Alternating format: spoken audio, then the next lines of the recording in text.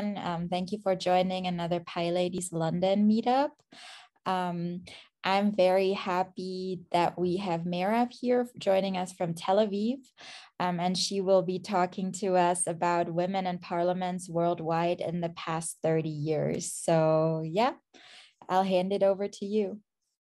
Hey everyone, thanks for having me. I'm very excited to be in this meetup. Um, so thanks for joining into my talk. Uh, as I said, I'm Meirav, and I'm uh, in this talk I will discuss uh, my analysis of female representation in parliaments worldwide in the past 30 years. And in the end, we can have a small uh, Q&A session. So if you have anything to ask, please write it down in the chat, and I will refer to it uh, in the end. But uh, before we dive into the analysis, um, quick hello. So hi, my name is Meirav. I'm a data scientist, been in the past five years.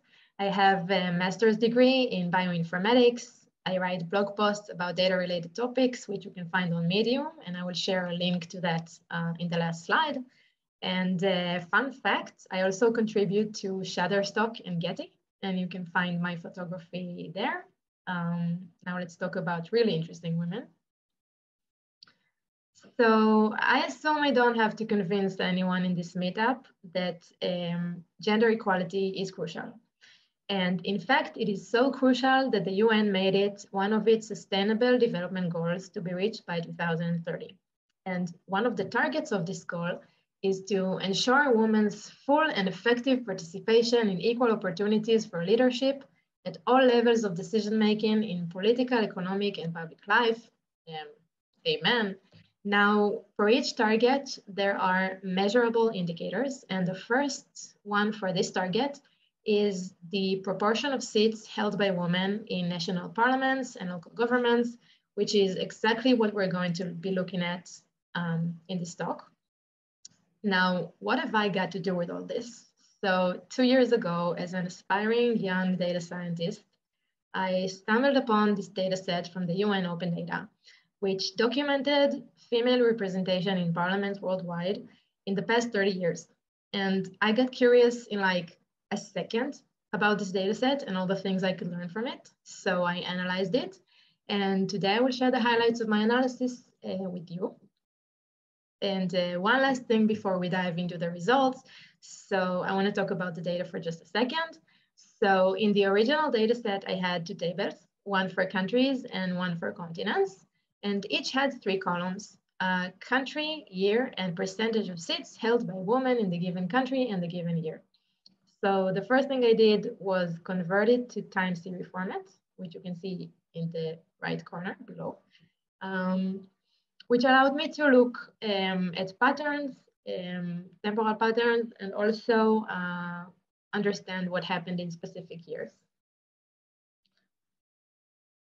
So the first thing I looked at was uh, the temporal trend at the continent level. So I wanted to know what was going on in the world in the past 30 years and the continents was the easiest thing to look at. Um, so basically this figure is good news, right? Because all continents made a positive progress. Uh, we can see Australia and New Zealand leading all the way. Um, Europe and the Americas nearly doubling their averages. Um, I don't know, I can use the laser pointer. Can you see the pointer? Yes. Um, so Europe and Asia started um, around here. Europe and Americas, I'm sorry, and they finished here, which is really high uh, in rel relative to where they started. Um, Asia rising, but rather slowly um, and Africa making a big rise during the first 15 years of uh, the 2000s and then staying on the same level until uh, 2020. Uh, however, it is important to note that the highest percentage reached on a continent level is less than 35%. Um, Asia is still less than 20%. Um, Africa is a bit below a quarter, and the Europe and the Americas are around 30%. So the trend is good, but if we want to reach the UN's uh, target from before, uh, which is equality worldwide, then we should uh, step it up. Um, so then I zoomed in and I looked at subcontinents. And by subcontinents, I refer to um, lower resolution, uh, such as uh, Western Europe, Central Asia, um, etc. So uh, we can see here the positive trend as well um, with a plateau in the past five years.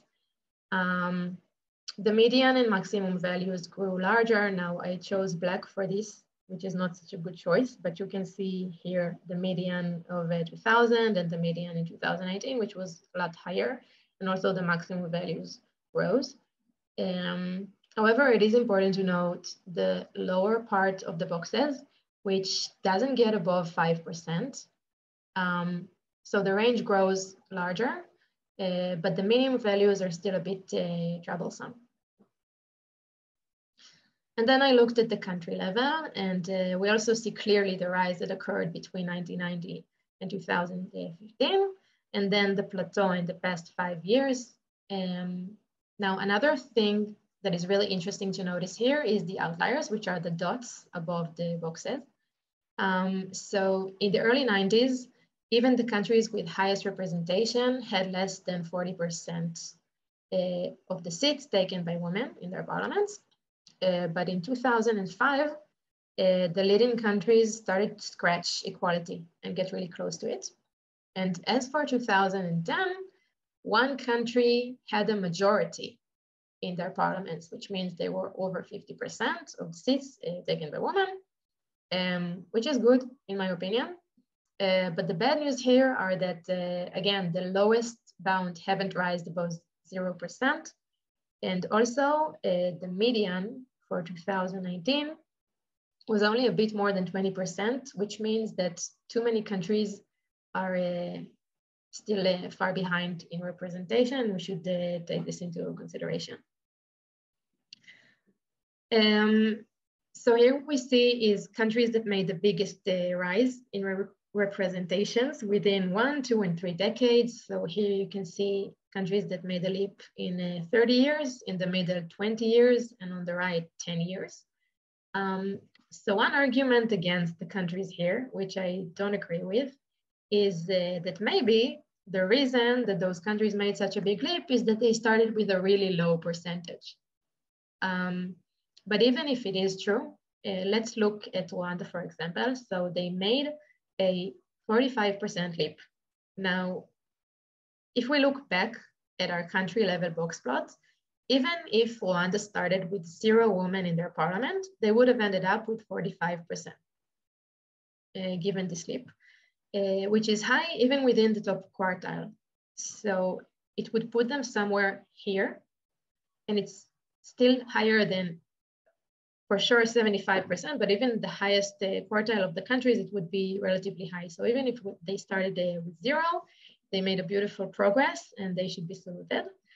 So this figure is important first because I think we should uh, salute those countries and also because um, they're the ones to learn from if we want to replicate this success in other places. And I will get back to this point in a few slides. And this is the other side of the previous figure. So originally, I just wanted to know which are the countries with the lowest rise, but the values were negative, which means that they had a drop in representation. So here again, there are important lessons. So if we want to learn what leads to reduction in female representation, we should look into what happened in those countries and try as much as we can to forbid that from happening where we are. And uh, interesting things to see here is uh, Netherlands, Liechtenstein, uh, which I would say um, that I read a bit about what happened there, and it was pretty much the result of an election. So they stopped caring about uh, promoting women, they stopped actively um, doing it, and that's why they ended up with such low um, results. So then I looked into countries with the highest and lowest representation in a given uh, year, uh, specifically the beginning of each decade. So here we can see the results for 1990. Um, on the left, we have the countries with highest representation, and on the right, the countries with lowest. And uh, do note that I only plotted 10 countries on each side in each figure. So here, for example, we have 10 countries with zero women in their parliaments as for 1990, but there might have been more. Um, now, on the left, we have all the Scandinavian countries except Iceland, along with two former Soviet Union uh, countries, which are uh, Turkmenistan and um, Armenia, um, and also Guyana, Romania, Cuba, and Albania. Um, and also note that the highest percentage of women in parliament was less than 40% in that given year. And country in, on the left side, we see countries that just had no women in their parliaments at all. Now, this is the same uh, figure, but only for uh, 2000. So on the left, we still have uh, the Scandinavians um, occupying the top of the left list. Um, almost all countries on the left side are developed. Uh, we still have Sweden at the top with over 40% female in their parliament, which is lovely. They made a rise of 10% in 10 years, uh, which is a bit slow, but still impressive. Um, and on the right figure, we are starting to get some color but I have to draw your attention to the values here. So the maximal value is 1.75 and all countries have less than 2% of the seats occupied by women. And I must highlight that it's 2%. It doesn't mean two out of 100. It could be less. So um, I personally can't help but wonder how frustrating it could be to be such a minority in such a masculine parliament and like how effective can you possibly be in promoting laws concerning female issues in such an environment? And uh, this basically makes me wonder if perhaps an interference is a good idea. Um, maybe a minimum percentage of seats should be allocated to women um, or some other mechanism. Um, so this was important for me to highlight. Um, and then in 2010, something really interesting happened on the left side. So Rwanda came out of nowhere, not only made it to the top of the list, but they also reached majority and was the first country in the world to do so. Um, and also I will highlight again that Rwanda wasn't on the top 10 in the previous figures. So this is really interesting in my opinion. Um, also, we see more African countries and developing ones in general in this list. Um, and on the right, things keep being frustrating with less countries with zero representation, but still too low uh, representation overall. And in 2019, we see two more countries reaching majority of women and more countries scratch inequality, which is great in my opinion. And on the right, we see that there are only two countries in the world uh, with zero representation, which means that the box plot figure from before will be better, I hope, in 2025 uh, in terms of the lower value, uh, but still this is too low and it's not satisfying at all. Um, so this part pretty much wraps up the numeric analysis I ran, but at this point, I still had some questions in my head that I really wanted to know the answers to. And the most interesting ones were, how did the countries on the left side of the last three figures um, reach such high representation? And also, what can we do if we want to replicate the, this success in other places? So one thing that kept coming up when I read about the countries and what happened there um, was quotas, um, which are basically explicit requirements on the number of specific group members in political positions. And this could be applied not only to women, but also for example, um, LGBTQ, religious, non-religious, etc. So you can pretty much manipulate uh, the representation of groups in your society in your parliament with this uh, structure, which I think is lovely and should be incorporated in, in Israel for sure, and also in other places. Um, there are too many there are two main forms to incorporate quotas. So one is minimal occupation, which uh, basically says that women will occupy at least X percent of the seats. And this means that the sky is the limit. But I think um, uh, a disadvantage of this uh, way is that it's not balanced. Um, and the second form of it will be gender neutral, uh, which states that neither gender should occupy more than 60 or less than and less than 40% of the seats. um, which is more balanced. And I think uh, me personally, I prefer this one, uh, but that's just me. And uh, fun fact, as for uh, 2019, um, out of the 20 countries with the highest representation of uh, female in parliaments, 16 had some form of quotas. So this thing works. Um, but quotas alone, in my opinion anyway, are not enough. Uh, and three main things uh, should be done. Um, one is encourage and or demand political parties to nominate women. Uh, second is encourage women actively into politics.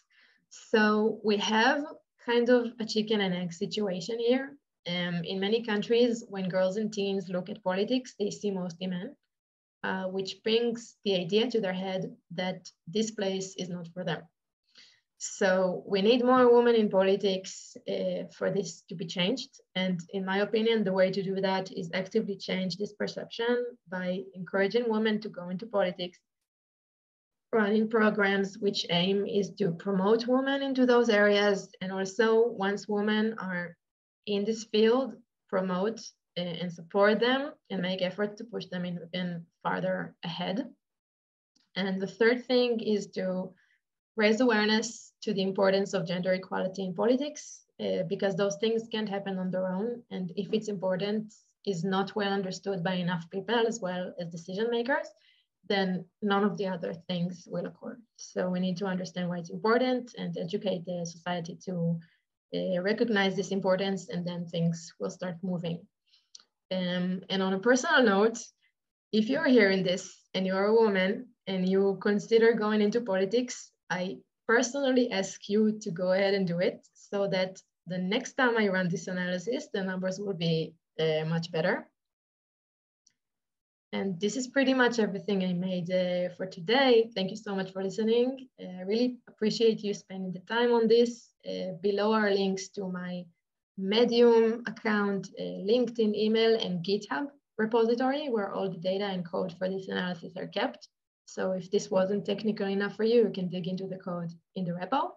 Um, please feel free to contact me if you have anything to say, questions, inputs, or whatever. And if you have anything to ask right now, then I will uh, happily take uh, Thank you so much. That was really interesting. Well done. Uh, we have one question in the chat by Miri, and she's asking what happened in Rwanda? How did they get to over 50% female representation so fast? Thank you. Um, so it's a long story, obviously, but from what I understood, um, what happened is the, the genocide in the 90s. So what happened there was that uh, after the genocide, the country was so, uh, you know, in shock that they figured out that uh, this brings tears to my eyes. uh, they figured out that um, a really extreme steps should be taken to cure this place, and they decided to promote women. So they did it on both ends of the scale, like both teaching women how to read and write, and also push them into politics. And it's really interesting that you brought this up because uh, about two years ago, I went to Uganda and one of the girls with us was uh, lived in Rwanda for a year in Kigali. And she said that it is really, um, you can feel that there is a majority of women in politics in the streets. There are no harassments there. She said it's the most uh, safe place for her to, she felt the safest there in the whole wide world. And uh, it's really interesting. So that's just in five words. Thank you for sharing. Thanks, Miri. Do we have any other questions? If yes, you can unmute yourself or you can post it in the chat.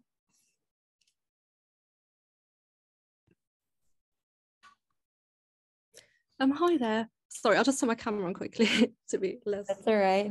Okay. Hi, hi, Mira. Thank you so much for this really interesting talk. Thank you. I wanted to ask, was there anything in particular that really surprised you, either in the positive sense or the negative sense? Um, I think Rwanda and uh, you know mm. Cuba and Bolivia. I expected the Europeans to remain, uh, you know, on the top. So I was pretty surprised to see those progresses. And um, I don't know if I would say surprised, but uh, it was really interesting to read about what happened in those places. I didn't know about quotas before, so it was really interesting. Um, um, was, there anything that was exactly as expected? Even frustratingly so, maybe. Um, actually, I was surprised to see the positive trend on the continent level, and I wasn't surprised to see the results in the 90s, like for the Scandinavians in the top. Um, Thank you. Thanks. Do we have any other questions? Oh, there's a question by Phyllis. Um, have you joined the data set to other external data sets like education level, religion, income level to see whether there are further links or relationships? Uh, no. Actually, this um, whole analysis was an exercise in EDA for myself. So I chose the simplest data sets and the most interesting one I could find. So I decided to not go in the you know, complicated, but I do agree this could be an interesting thing to do. And uh, Phyllis, if you're interested, please submit this to the repo or tell me about it if you do things on your own. Very cool. Any other questions?